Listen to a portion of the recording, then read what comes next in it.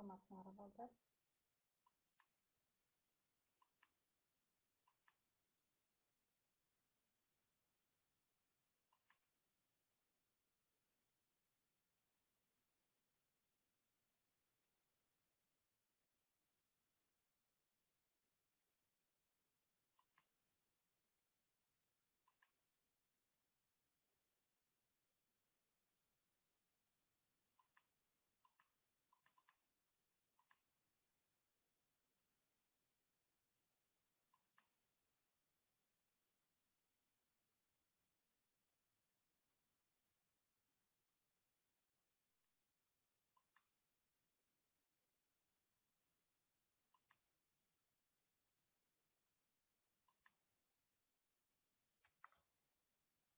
саламатсыңарбы балдар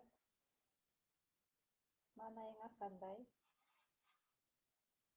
сабакка даярсыңарбы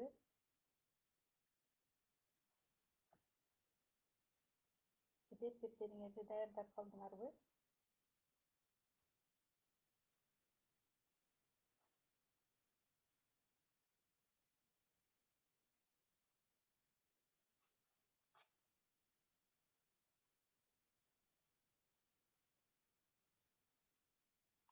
эмнеге угулбай атабыз силерге балдар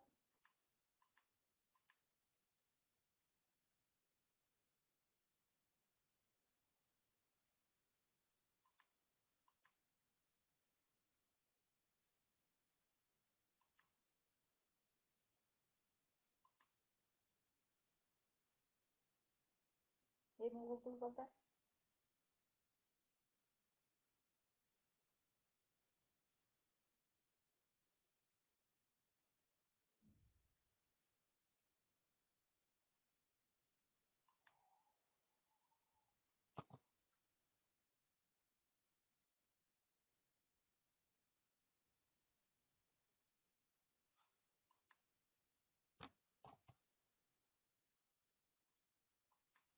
мени угуп атасыңарбы балдар.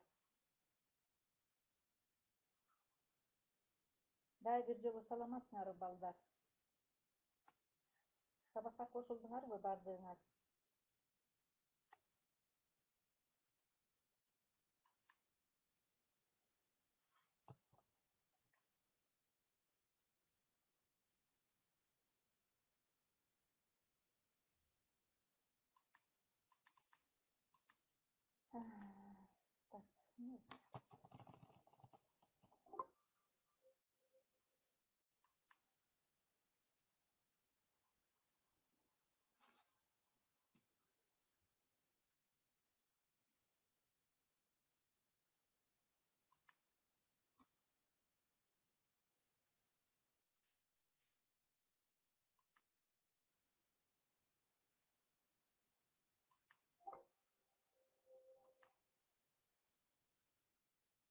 угулуп атабы балдар эми силерге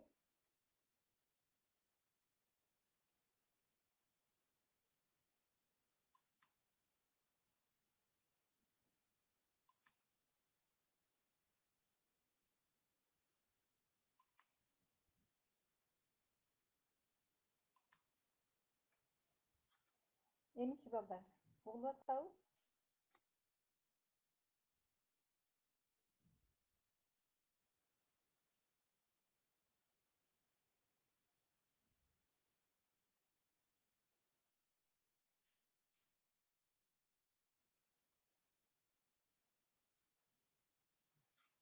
саламатсыңарбы балдар. Убакыт өтүп атат балдар. Сабагыбызды баштайлы. Күн коюп укканга аракет кылгыла алтын эрежелерди кайталайлы алтын эрежелер бүгүн сабакка даярбыз. Башкага көңүл бурбайбыз дептерди ачып таза жазабыз. Өз билимибизди өркүндөтөбүз өз алдынчалыгыбызды биз көрсөтөбүз дептериңерди ачып балдар бүгүнкү числону жазгыла он алтынчы сентябрь класс иши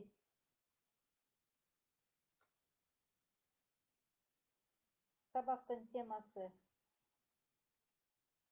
лексикалык темасы үнөмчүл болуш керекпи грамматикалык темасы сүйлөмдүн толуктоочу дептериңерди алып жаздыңарбы балдар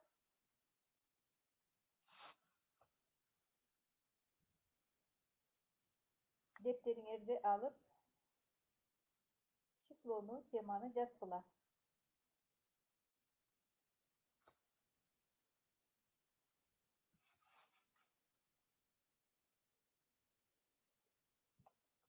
сабактын э, максаты бүгүнкү сабакта биз эмне кылабыз жаңы теманы өтөбүз көнүгүү мисалдар аркылуу бышыктайбыз. Текст менен иштейбиз мазмунун түшүнөбүз. Жаңы сөздөрдү өздөштүрүп туура так айтууга жазууга көнүгөбүз. Ой жүгүртөбүз тилибизди жатыктырабыз. Тапшырмаларды аткарабыз үнөмчүл болууга үйрөнөбүз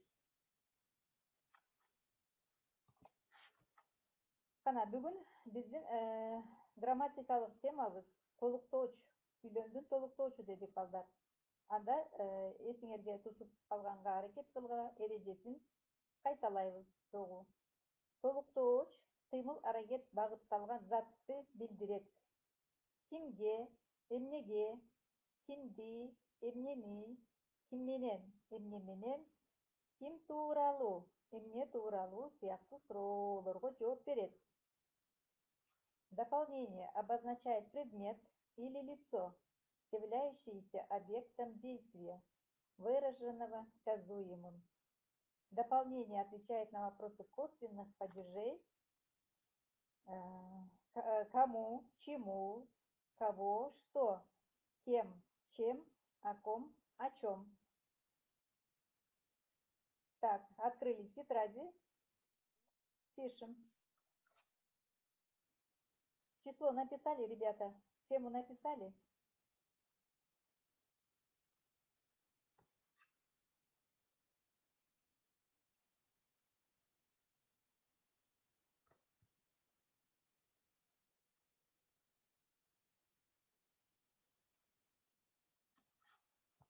Андан ары мисалдар толуктоочко мисалдар мен апама жардам берем султан дептерге тапшырманы жазды.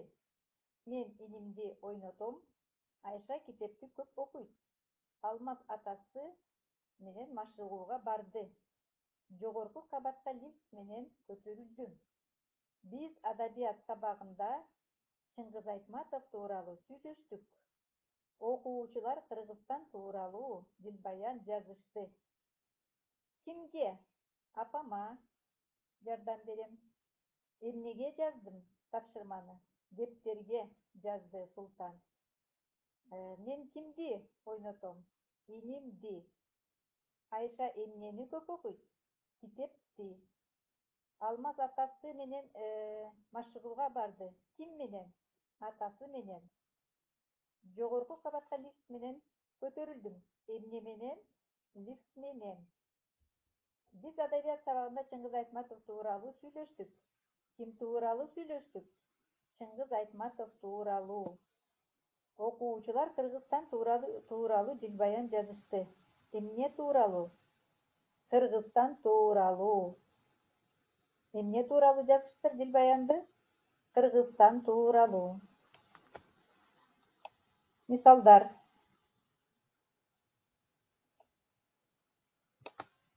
азыр окуу китебиндеги жыйырма үчүнчү көнүгүүнү аткарууга аракет кылалы балдар мына сүйлөмдөргө кыймыл аракет багытталган затты кошуп толуктап жазгыла бул жерде толуктоочторду коюшубуз керек экен э суроонун ордуна мисалы үчүн биздин үй бүлө эмнени туура коротууга аракет кылабыз апам кимди тойгузуу үчүн тамак ашты көп алат күнүмдүк эмнени атам төлөйт биз кимди кыйнабайбыз керектүү эмнени гана сатып алабыз.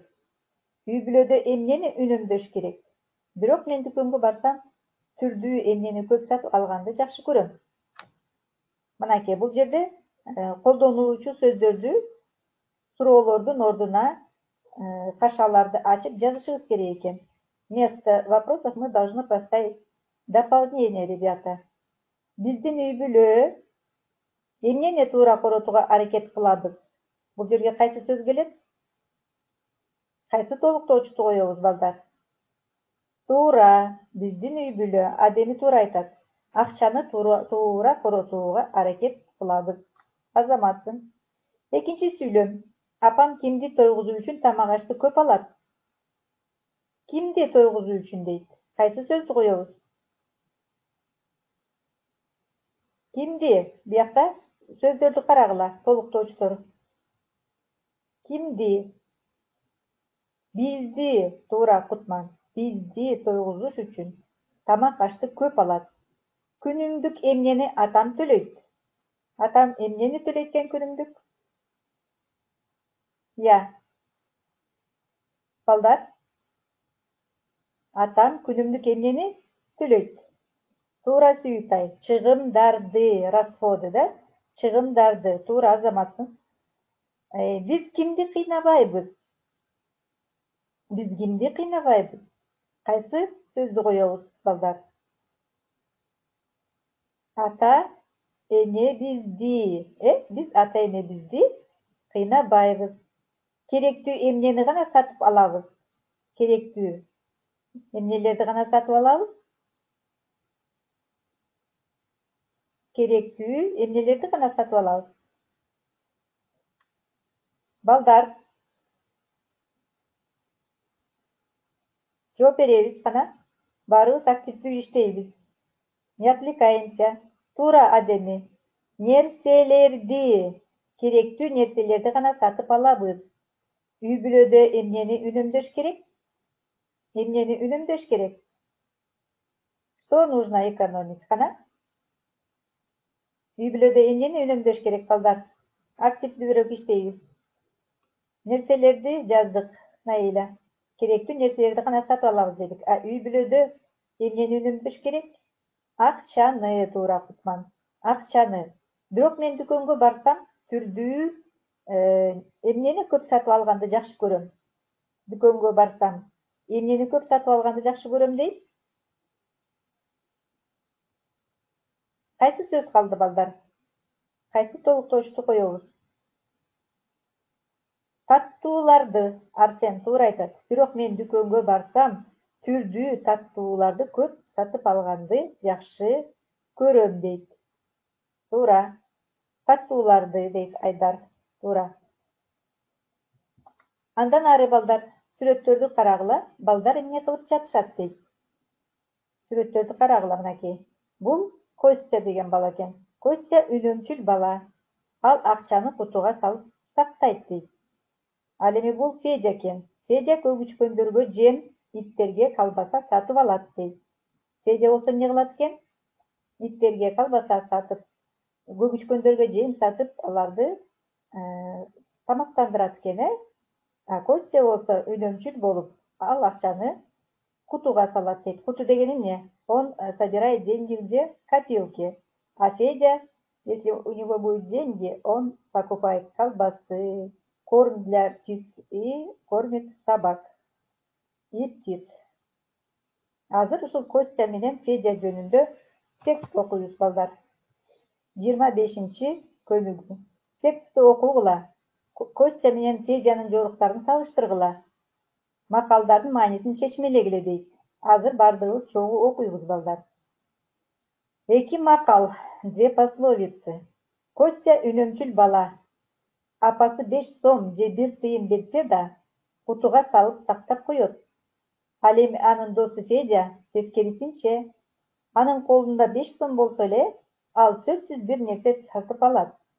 Көгүчкөндөргө жем иттерге колбаса дейт бир жолу чоң айылда жармеңке болду костя өзүнүн кутусунан майда акчаларын алып жарманкеге жөнөдү.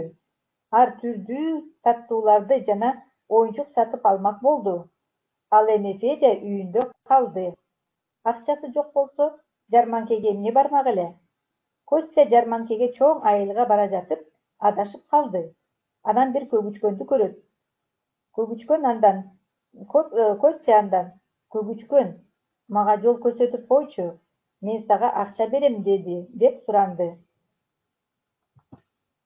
мага акчанын кереги жок сага жол көрсөткөдөй сен кимсиң дейт мен федянын досумун анда башка кеп көрсөтөйүн көгүчкөн костяга жол көрсөтүп берет тиги ошол жол менен жарманкеге жетет костя жарманкеге келсе анда эл көп жакшысы да жаманы да бар бир ууру костянын акчасын уурдап алат костя ыйлап жиберет анын ыйлаганын көргөн бир ит келип ыйлаба мени ушул жерге күт дейт. Ит костянын акчаларын жытынан таап тартып алат да алып келип берет. Костяга бир нерсе деп кулагына шыбырап кетет. Костя түрдүү таттууларды жаңгактарды оюнчук сатып алат.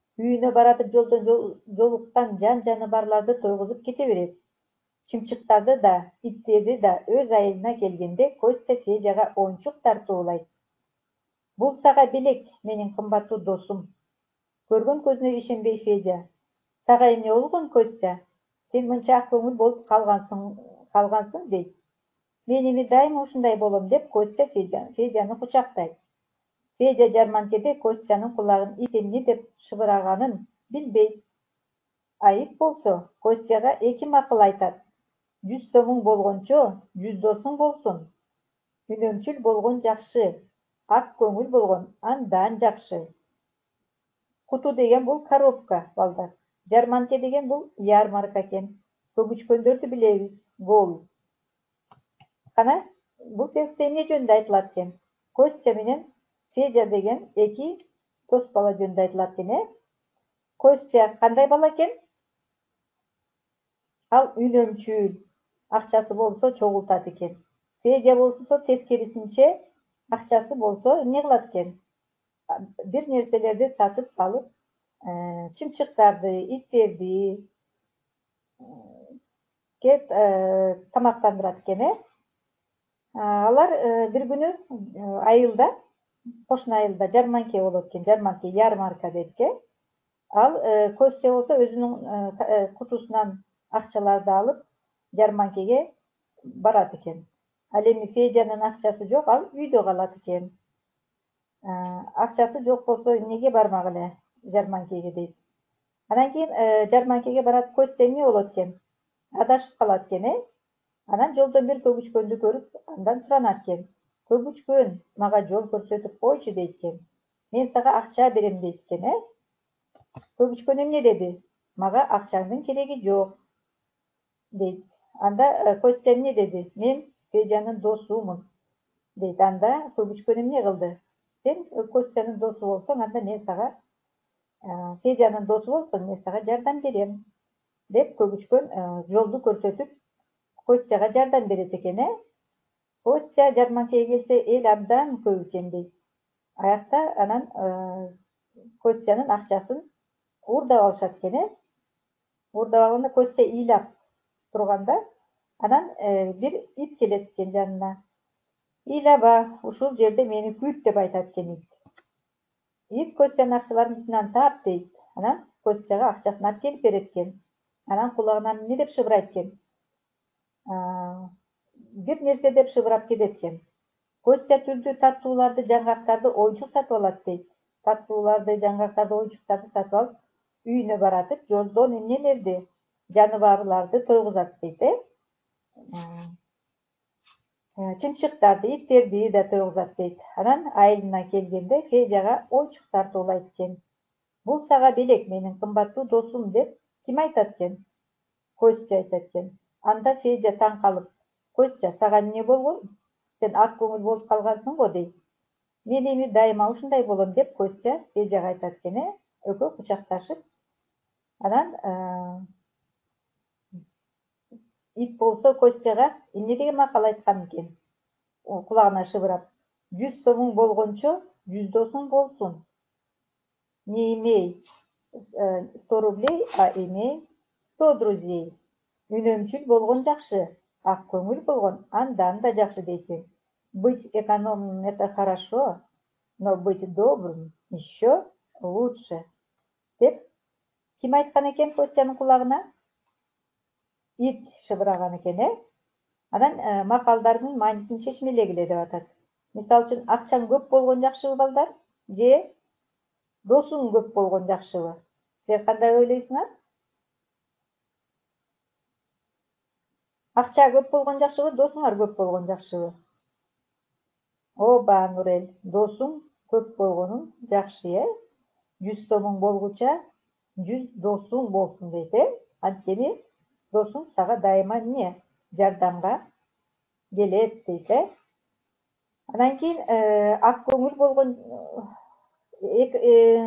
үнөмчүл болгон жакшы ал эми ак көңүл болгон андан жакшы дейт биз кандай болушубуз керек экен жаратылышты сактап должны быть бережливыми да анан кийин бирок андан дагы кандай болушубуз керек экен ак көңүл ак көңүл деген кандай болот которулат добрым. Быть экономным бережливым это хорошо но быть добрым еще лучше. Дейт э ошентип мына федя менен костя анан жакшы достордон болуп калышат экен э?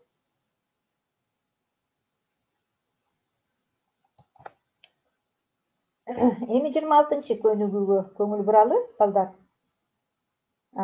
каармандардын бул таблицаларды толтурабыз каармандын аты костя менен федя экен э сырткы келбетин элестетип жаз внешность опишите. Ал кандай бала он какой? Костя какой мальчик? И федя какой мальчик? Ал келечекте кандай адам болот деп ойлойсуң в будущем костя кем? Каким человеком станет? А федя? Кандай бала болот деп ойлойсуңар адам болот деп в будущем. Костя и федя какими станут? Как вы думаете? Бул таблицаны азыр бат баттан толтурууга аракет кылып көрөлү балдар убакыт жетпей калса китебиңерде бар булар бул тапшырмалар бар. Тапшырмаларды аткарып өз алдынча иштеп койгула балдар жыйынтыктоо тема боюнча өзүңөрдү баалагыла дейт жаңы нерсе билдим пайдаландым таң калдым үйрөндүм түшүндүрө алам түшүнгөн жокмун бул дагы китебиңердин жыйырма тогузунчу бетинде бар. Карап бул тапшырманы дагы аткарасыңар үй иши болсо жыйырма сегизинчи көнүгүү костянын үнөмчүл гана болбой ак көңүл бала болгону туурабы эмне үчүн өз оюңарды төмөнкү сүйлөмдөрдү улантып жазгыла дейт мен деп ойлойм я думаю во первых во вторых третьих демек значит өзүңөрдүн оюңарды айтып жазайт экенсиңер тапшырманы аткарат экенсиңер костянын үнөмчүл гана болбой ак көңүл бала болгону туурабы силер кандай ойлойсуңар эмне үчүн өз оюңарды төмөнкү сүйлөмдөрдү улантып жазгыла тапшырмасы тапшырма түшүнүктүү болдубу балдар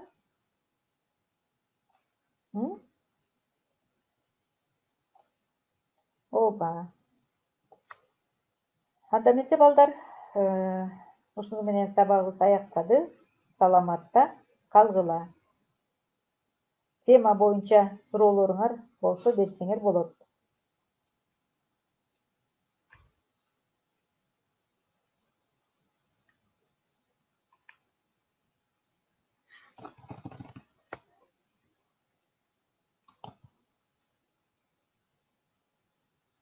Үй иши баарыңарга түшүнүктүүбү бүгүнкү сабакта активдүү катышкан балдар азаматсыңар.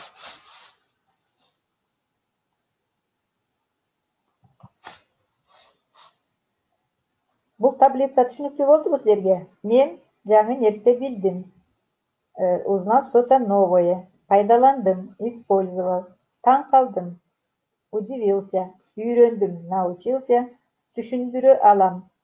Могу объяснить түшүнгөн жокмун түшүнгөн жокмун. Не понял. Буларды